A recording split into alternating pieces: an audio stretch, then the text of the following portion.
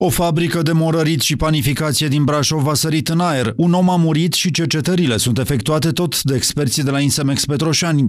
Evenimentul a creat și el panică și tot mai multe firme de profil au cerut expertiza specialiștilor de aici. Este o măsură de prevenție, dar este păcat că se întâmplă doar în astfel de situații.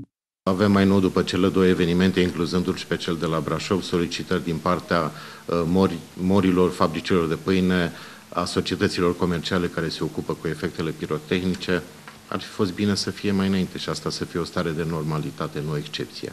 Și tare mă tem ca după ce trece valul de emoție produs de, de aceste incidente, lucrurile să nu se stingă, să revină din nou matca, matca inițială.